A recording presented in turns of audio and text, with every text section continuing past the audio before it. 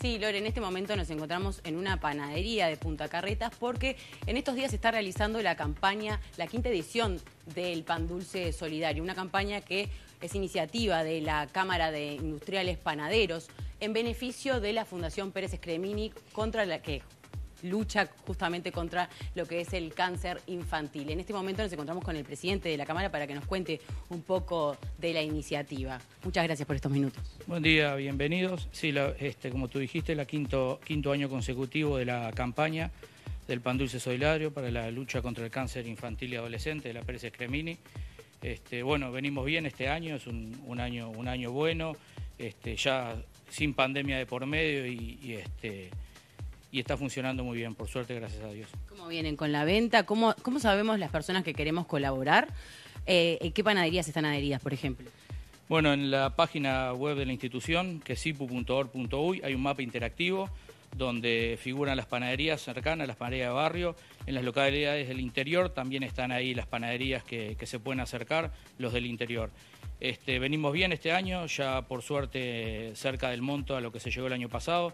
Este año nos pusimos como objetivo este, comprar un equipo nuevo que precisa la Fundación para, para el tratamiento de los chicos, que como sabemos todos estos, todos estos este, equipos son, son bastante costosos. ¿no? Ahora vamos a destapar acá, a ver si Robert me acompaña con las imágenes. Tenemos masa de pan dulce ah, ya avanzada.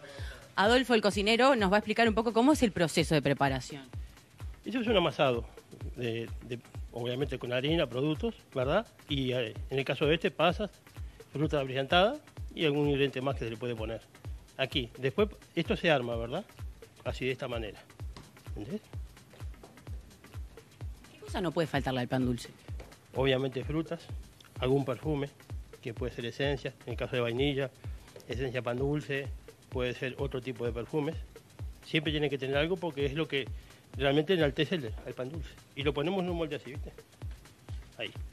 Lo mismo con este otro, se hace así. Esto es rebollar. ¿Esto después va, se deja reposar o va al horno directo? como Esto va así.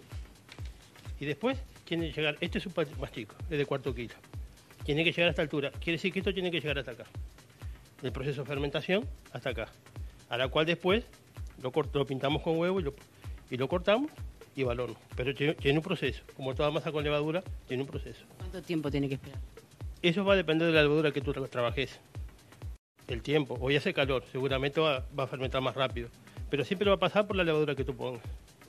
Después va al horno y ya se pasa la decoración, que lo tenemos por allá. Es por allí. mi, compañero aquí Se encarga de, de la decoración. ¿Eso es a gusto personal o hay que seguir también alguna tradición con respecto al pan dulce? Eh, sí, normalmente las casas, las panaderías tienen su manera de, decorar. Nosotros en este caso, basándonos en el pan dulce y el budín inglés, siempre usamos fruta fileteada con cerezas y fondant para que mantenga la calidad, para que mantenga la tradición, que no pierda la esencia ni el budín ni el pan dulce. A su vez, cada uno en su casa o en otro lugar lo decora como quiere. Nosotros en este caso el budín le ponemos frutas enteras, como te muestro acá por ejemplo. Tengo el pan dulce. Todo, en vivo, como verán, ¿no? Cáscara de naranjas, peras,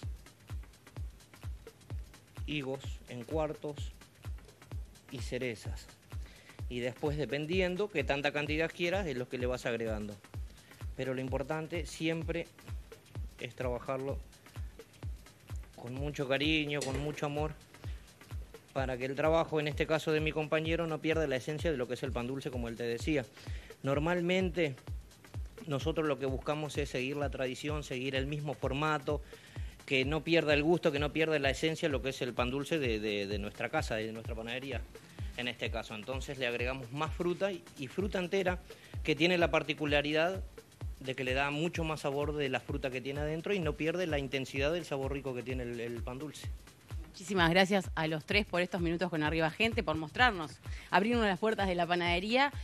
Y el aroma acá fue, eh, te, penetra el aroma de las cosas que cocinan acá, riquísimo. Fue difícil hacer este móvil, les digo la verdad. Así que si les parece... Van a llevar pan dulce, no dudo que llegue al canal. Eso, eso no lo puedo prometer. Seguimos con ustedes, chicas.